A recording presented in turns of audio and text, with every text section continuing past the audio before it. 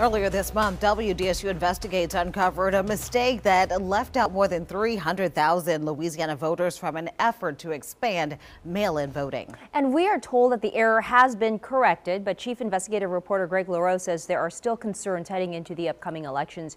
He joins us live from a Gentilly polling location. And Greg, what has people worried? Yeah, uh, Gina, the coronavirus uh, really has folks worried about how to hold safe elections this fall, especially at polling places like a busy one here at the Milne home. Secretary of State Kyle Ardoin's reaching out to voters 65 and older to give them the option to vote by mail, but some say much more could be done.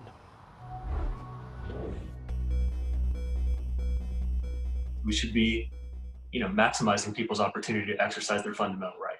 Chris Kaiser with the ACLU of Louisiana is concerned that rapidly changing rules in the midst of a pandemic could have a chilling effect on voting rights. In many cases, the people who I think their, their health and well being is most at risk from this pandemic are the, are the folks whose interests are also most at risk in the election. The Secretary of State sent letters April 1st to 315,000 Louisiana seniors to let them know they could vote by mail.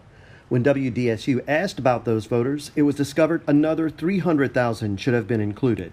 It was a human error. I'm appreciative of us catching it uh, and moving forward to quickly expedite uh, letters to those additional um, people that can participate in this program. We took a closer look at who's eligible for the program.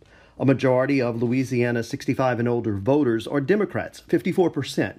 Compare that to all registered voters, of which Democrats make up 41%. The number of senior Republicans is on par with the general population, but independents and other parties are underrepresented by more than half among voters 65 and older. These numbers were as of June 9th, after Ardoin's initial outreach to seniors, but before most of the 300,000 he had left out were contacted. Before April 1st, more than 92,000 Louisiana seniors had registered to receive mail in ballots year round.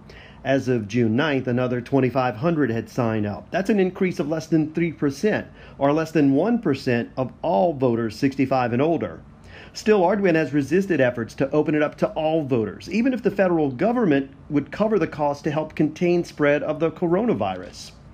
Receiving one time funds to run elections during an unprecedented crisis at the expense of radically changing our election system is a trade off we are not willing to make. This is not requiring everybody to vote by mail. This is giving voters more options so that they can do whatever they need to do to take care of their family and not have to choose between their fundamental right to vote and being safe in the time of an international pandemic.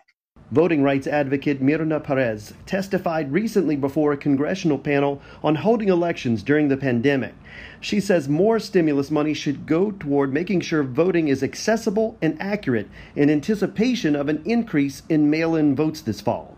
Earlier this month in Georgia, where voters stood in line for hours to cast ballots in person, officials say thousands of mail in votes weren't counted because of software and scanner problems. The answer is not tell voters that they have to wait in long lines. Like in in the past, long lines were disenfranchising and deterring. Now they could be deadly. Five states send out mail in ballots to voters for every election. 28 states and Washington, D.C. will give mail in ballots to anyone who requests them. Louisiana is one of 17 states where you need an excuse to vote by mail, like being sick, out of town, or in the military. In the crisis that we are experiencing now, it is really hard to argue that that option should not be available to everybody. Voting rights advocates say those who worry that more mail in votes would lead to fraud just don't have the evidence to back up that claim. The real concern, they say, is that if people feel the only way to stay safe is to stay home, then they'll also stay silent on Election Day. Reporting live from Gentilly, Greg LaRose, WDSU Investigation.